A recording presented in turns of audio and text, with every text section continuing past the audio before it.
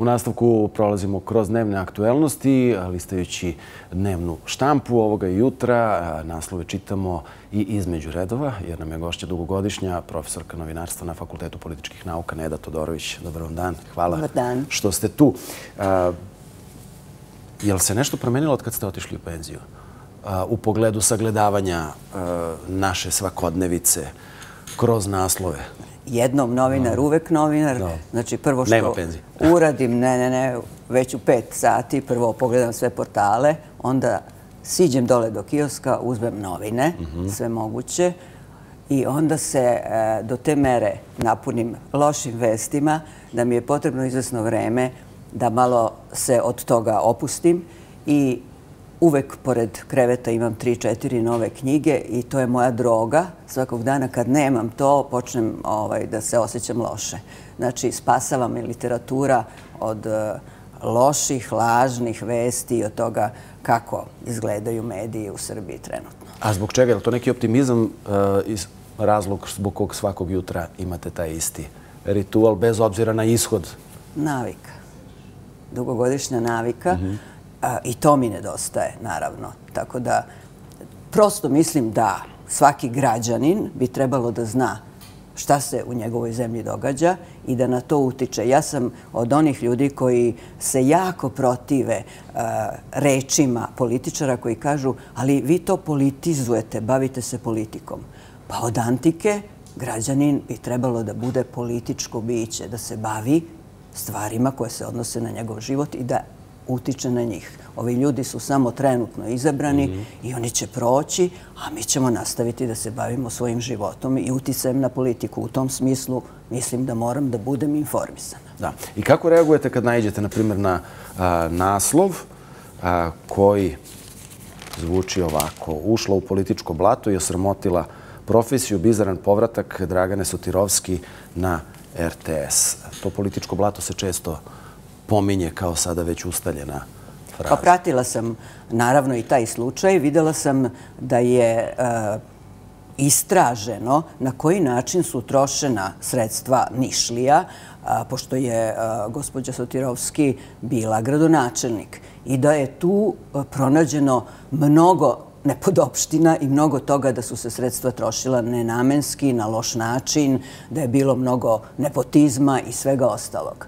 Tako da, sad ovaj, jednostavno vraćanje na staro radno mesto, a bez odgovornosti, to je nešto što je ovdje postalo normalno. Bilo bi logično da svako snosi odgovornost za ono što je radio u prethodnom periodu.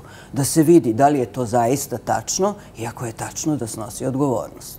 E, tokom njenog e, mandata na e, čelu Niša bilo je mnogo i zamjerki na odnos prema medijima. I neki su se ljudi čak i čudili tome s obzirom da i sama dolazi, ili tako? Ne samo to. Ona se bavila i bila istraživačka novinarka. Tako da je čudna ta promjena. Vidite kako vlast loše utiče na ljude i kako ih menja. Mada mi neki pametni ljudi kažu ne menja ih, oni su bili takvi. Samo su sada došli u situaciju da to i pokažu. Tako da mislim da je to ovaj, bruka i za jednu i za drugu profesiju i političara i novinara kojom se koleginica bavila. Kako vam se čini da se zapravo ta profesija političara može, ako tako mogu da kažem, očistiti, odnosno da se promeni i način na koji ti ljudi rade, ali i odnos prema tome što mi zovemo politikom? Pa vi imate jednu emisiju ovde da sam ja neko. Mhm da sam ja neko, da sam ja neki političar, neki predsjednik ili neki premijer, ja bih gledala da se okružim najkvalitetnijim ljudima iz različitih oblasti. Da moji ministri budu najpametniji ljudi i najkvalitetniji stručnjaci iz oblasti o kojima je reč. I da onda slušam ono što mi oni govore i pokušavamo zajedno da učinimo najbolje što možemo za tu pojedinačnu oblast. Ja bih se tako ponašala. Kod nas to deluje kao da je ili teško ili neizvodljivo. Imate stav zbog čega? Zar ne bi bilo to logično? A šta ovo drugo ako se ja okružim najlošijima? Ja se okružim ljudima koji nemaju nikakve veze sa tom strukom. Mhm. Ja izaberem čoveka iz pečenjare da mi vodi najveću firmu EPS u ovoj zemlji. I ta onda firma propadne, je li tako?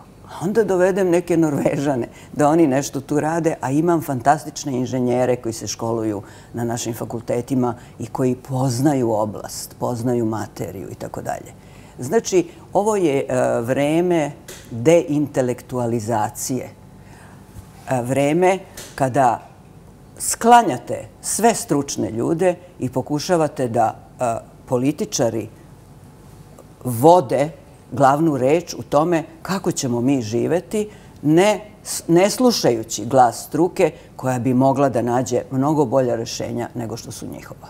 A da bismo imali te stručnjake, važno je obrazovanje, ali tako to znate i sami iz svog godišnjeg iskustva. I sada imamo još jednu školsku godinu koja konkretno na nivou osnovnih i srednjih škola započinje protestom, najavom različitih vrsta obustave rada, štrajkova i tako dalje. I stiže i vest, evo malo pre smo razgovarali sa jednim od predstavnika sindikata u Kragujevcu, da je upravo za taj datum kad je najavljen početak obustave rada, jer se ništa ne menja i ne poboljšava, najavljena vanredni inspekcijski nadzor u školama To je 16. septembar, dan D, kada će u velikom broju gradova početi štrajk prosvetnih radnika, koji su svedeni na najniži mogući nivo od kada ja znam, a dosta dugo znam. 50 godina sam od početka studija do danas bila na fakultetu i u prosveti. To što im se nudi 12 procenata, povećanje od 12 procenata i 8 procenata za ljude van nastavno osoblje je smešno u današnje vreme, jer vi time pokazujete da ste ih srozali na najniži mogući nivo.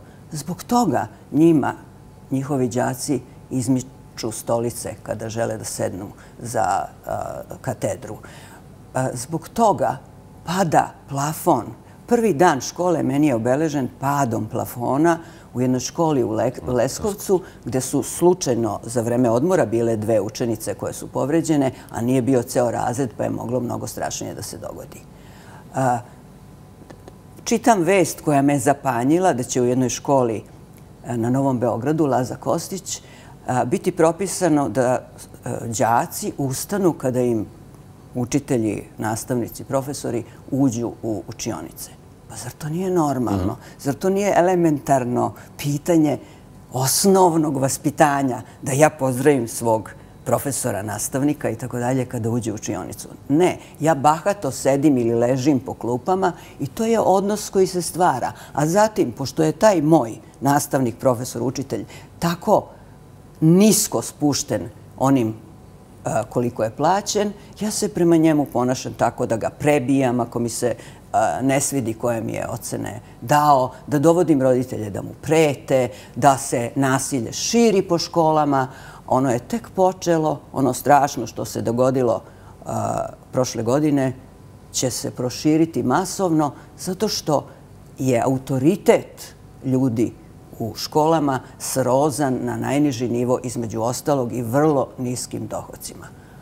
A šta radi ministarka obrazovanja tom prilikom koja bi trebalo da se založi za njihovu uh, situaciju i da poboljša stanje? Ne radi ništa. Da, bilo je čak i tih poziva da ministarka dođe. Ali zašto se ona ne bavi tim? Čekajte, ona mora da reši taj slučaj.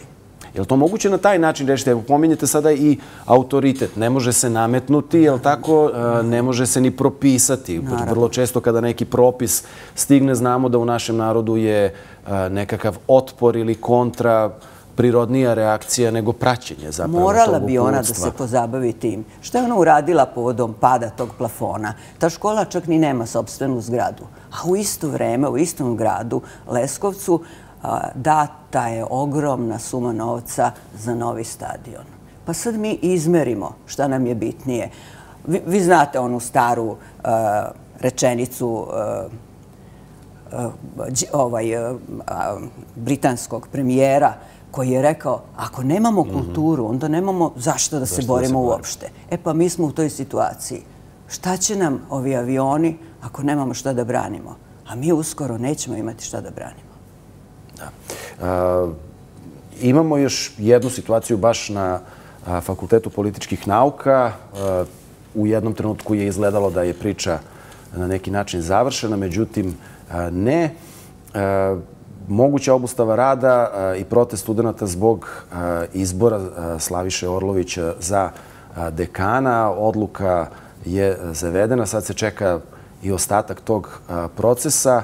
Ovo je uvreda za žrtve i fakultet, kažu studentkinje Fakulteta političkih nauka. Jeste. Ovo je jedna sad nepotrebna situacija koju je stvorio Savet Fakulteta političkih nauka. Ja sam godinama bila član tog saveta.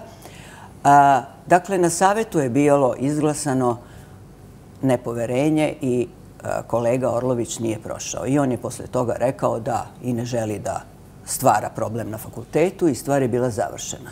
A onda je nezakonito predsjednica saveta tražila da se odmah održi drugi savet, što je nezakonito potpuno protiv statuta fakulteta i da oni ipak kao manjina članova koja je bila prisutna naprave većinu od te manjine, to je nezakonito, mhm. i da izaberu profesora. Znači, oni su stvorili ovaj problem.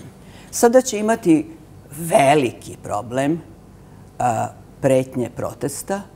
Vi znate, ako se na jednom fakultetu, kao što su političke nauke, E, dogodi takav protest, on vrlo lako može da se proširi na univerzitet. I mi sad u stvari imamo pretnju mnogo većih protesta nego što bi bilo logično, jer je proces bio završen.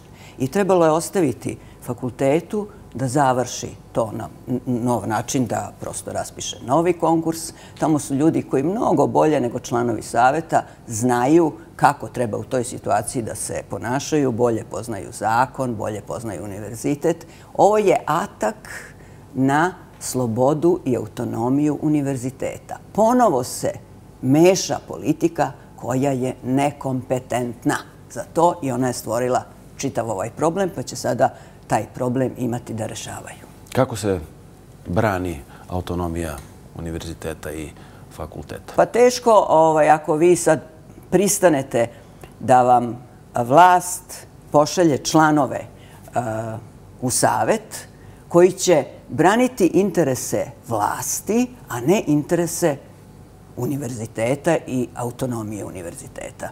Međutim, uh, mislim da ipak ta neka stvarna intelektualna elita koja postoji na univerzitetu mora tome da se odupre i dobro je što imamo studente koji reaguju i koji ne dozvoljavaju da se neke granice pređu. Videli smo u prethodnom periodu da su studenti insistirali da se neki lažni doktorati ne priznaju i tako dalje. I to je jako dobro jer pokazuje da ipak imamo generacije koje će mada žive u ovakvim uslovima, se boriti, nadam se, za neku bolju budućnost. Da, koliko je bitno upravo mesto koje zauzimaju studenti njihove odluke i potencijal protesta. Znamo i vraćamo se na studentske proteste iz prošlosti koji su bili značajni ovde, ali i u nekom širim smislu deo duha i pokreta koji je zahvatio značajan deo Evrope. Pa mislim da je to jako važno. Ja sam preživjela i 68. Tada sam počela da studiram i pratila sve vreme to. 2000-ta je bila takva da su profesori i studenti bili na ulicama. Mhm. To može ponovo da nam se desi i to je reakcija tog građanina. Građanin mora da reaguje ukoliko smatra da je ono što radi vlast koja u njegovo ime vlada nezakonito, da nije dobro i da nije u njegovom interesu. I onda dolazimo u situaciju kao što imamo proteklih meseci, pa možemo reći i godina, da građansko izražavanje neslaganja, protest i tome slično se obeležavaju kao politizovanje, kao opozicijono delovanje, kao i samim tim se nameće neka etiketa Čekajte, u demokratskom društvu postoji i politizovanje i demokratsko delovanje i tako dalje. To su normalne reakcije građana. Problem je kod nas. Evo, odličan tekst u radaru je napisao moj kolega Zoran Stojiljković, mhm. što mi imamo podanike, a nemamo građane. I vreme je da mi počnemo podanike koji kleče da pretvaramo u građane koji stoje uspravno. To su oni koji znaju o čemu se radi. Mi imamo 70% nepismenih i polupismenih. Pročitala sam se neko veliko istraživanje kako se živi u određenim zemljama i mi smo na pretposlednjem mestu među zemljama o kojima ti građani 17.000 anketiranih govore. Znači, ovde se prema toj anketi živi lošije nego u Afganistanu i nego u Ukrajini. Znači, mi moramo da odgajimo građanina. A građanin se gaji tamo u onim školskim klupama gde se izmiču e, stolice profesorima, gde padaju plafoni, gde vlada nasilje i tako dalje. Je li se građanin i njegova e, svest o sobstvenom značaju i biću razvija i na protestima? Evo, neko vreme je da tako kažem, opozicija bila relativno tiha. Sad se pojavila sa zahtevom za posebnu sednicom Skupštine i predlogom zakona o rudarstvu i istraživanjima, odnosno predlogom zabrane tih istraživanja. Da li i kako gledati i na sve te proteste, inicijativu i ono što je godinama pominjano, a to je artikulacija određenih građanskih zahteva, ljudskih zahteva. Pa i sama spadam u ljude eh, koji se na način na koji mogu borim za ekologiju i ekološke principe. Eh, mislim da građani ovde moraju da reaguju. Ovde se sada radi o životu nas, naše dece i naših unuka. I mislim da smo mi kao i uvek i ovde zakasnili sa reakcijom. Mi smo imali prethodna istraživanja nauke, imali smo reakciju Akademije nauka Imamo ovo jedno veliko istraživanje objavljeno u čuvenom naučnom časopisu mhm. svetskom gde se tačno objašnjava šta je litijum, na koji način je e, to nešto što će loše uticati na zemlju, na poljoprivredu, znači na vodu i na vazduh. A to su ona tri elementa bez kojih nam života nema. Sada se traži dialog. E, pogrešno je tražiti dialog između politike i nauke. Ne, dijalog treba da se bavi, da se obavlja između ljudi iz nauke. Šta će tu politika? Politika može samo da sluša šta će stručni ljudi da kažu i na osnovu toga da donosi odluke u interesu svih građana. Trenutno većina građana je protiv toga. Ja sam protiv toga. Smatram da je to nešto... Kada pogledam one ogolele predele koje liče na mesečevu na Mars, onda vidim da je to toliko strašno. Kada pogledam kolike zemlje su odbile da se bave takvom vrstom rudarenja, smatram da je to nešto što će nas uništiti. Apsolutno se protivim tome i mislim da se mora slušati reč ozbiljne nauke, a ne nekih anonimnih ljudi koji ne smeju da izađu sa svojim imenima i da kažu iza čega stoje. A do koje mere e, se čuje? Evo kažete, upoznati smo, je tako, objavljeni su određeni radovi, imaju, postoje određene studije, tu je i e, stav e, Srpske akademije nauka i umetnosti, odnosno njenih članova koji su radili također na ovome. E, do koje mere se sluša? Evo još jedna ilustracija, je tako, tog odnosa kao i u slučaju prosvete? Do one mere e, do koje javni servisi i mediji dolaze do svakog građanina. E, Bojim se da 80% medija u stvari predstavlja onu klečeću Srbiju koja govori u ono što vlast želi da čuje, a da samo 20% pa i manje medija pokušava da da jednu izbalansiranu informaciju koja će biti istinita. Jako sam protiv lažnih vesti i toga što govorimo o nekoj post-istini. Ili postoji istina, ili istine ne.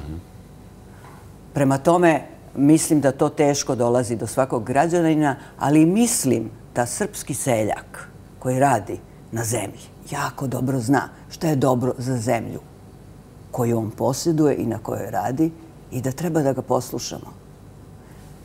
I ta većina koja je danas stala u odbranu ove zemlje, je ona većina koju vlast mora da posluša, jer vlast bi trebalo da radi u njihovim interesima. Da, a kao, malo, kao oko malo čega postoji, da tako kažemo, društveni konsenzus. Famozna još jedna, je li tako, a, fraza. Floskula. Floskula, postalo je floskula. A, o eliti, opominjali ste, intelektualnu elitu ste a, pisali i u a, svoj, svom tekstu o knjizi Gorana Markovića Zavod, ali o eliti nekog drugog vremena, je li tako? Jeste. To je jedna jako zanimljiva knjiga koja govori o vremenu između dva rata, za vreme drugog svjetskog rata i odmah posle rata. U pitanju je troje ljudi, vrhunskih intelektualaca, koji su svi školovani na zapadu, ali koji su se odmah potom vratili u svoju zemlju, što je bilo logično. To je bilo logično ponašanje. Danas nam mladi ljudi odlaze i nikad se više ne vraćaju. I to je tuga i katastrofa ove zemlje. Oni su se vratili, oni su ta intelektualna elita i to je priča o njima, ali je zapravo priča o jednom drugom Beogradu.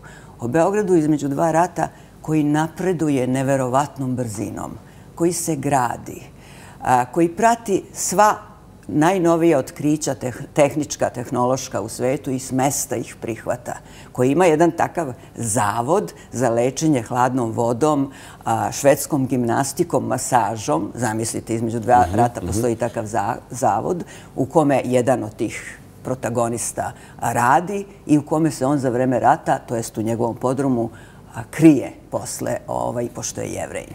Znači, priča je krajnje uzbudljiva. Ja sam se tu upitala da li Goran Marković piše zato što ne može da snima i ne dobija novac za svoje filmove, iako je izvrstan reditelj, ali sad se pokazuje da on isto toliko izvrstan pisac i kao i svaki talentovan čovek, on onda nalazi način da ponovo na neki način ovaj bude kreativan i da radi.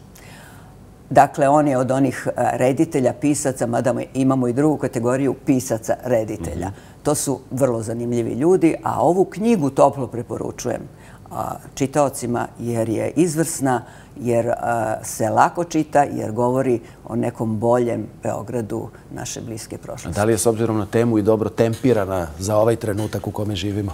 Pa da, ona na neki način govori o tome kakvi smo možda mogli da budemo. Jer tu ova jedina ženska ličnost, pošto su dva muškarca još u pitanju, ona na kraju, a posle drugog svjetskog rata, piše pismo svom bivšem mužu, koji se zauzeo za to da njen aktuelni muž dobije posao posle rata. Ona mu kaže, ti se u ovom vremenu, kada to ne postoji, ponašaš džentlmenski. Mhm to jest veliki je gospodin bio i ostao ribnikar o kome je reč u toj knjizi. Dakle, mi smo imali vrhunske intelektualce i u isto vreme ljude koji su se ponašali gospodski i džentlmenski. Mislim da nam toga jako, jako danas nedostaje. Primitivizam je toliko prisutan na velikoj sceni, na našoj političkoj i svim ostalim scenama, da svakog jutra kad se probudim, upitam se, a šta sam ja to zgrešila da moram da živim u ovakvim uslovima? Nadamo se da će jednog jutra odgovor biti, to je pitanje biti pozitivnije, a odgovor a odgovor drugčiji od onoga što nas zatiče sada. Hvala vam mnogo na vremenu koje ste jutro za nas izdvojili.